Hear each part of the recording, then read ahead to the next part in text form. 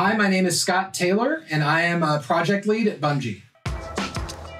Yeah, one of the things that's really neat about Bungie is that, you know, when we hire someone, we're in it for the long haul. We're not in it for kind of that, that short, like, burst of productivity. We're in it for the investment that we're making in that person. So I think people are maybe used to other companies where it's like, oh, I gotta, you know, day two, I better be showing everything I got. And it's like, this is much more about the long game and the, the fact that we want this person here for the duration to help contribute to the company and uh, in ways that we might not even understand right yet. We're really we're really kind of investing in a person for the long haul, and so there's not someone watching over your shoulder every minute. There's a lot of trust. Uh, in the idea that you know we have selected you to come here and work here, and so we want you to do the thing that you do well.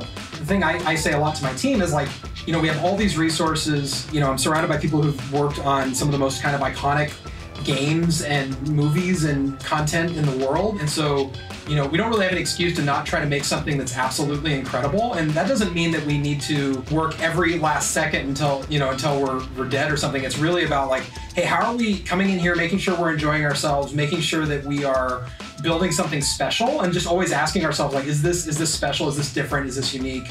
Uh, it's super inspiring when you are trying to solve problems that you're doing it with such smart people.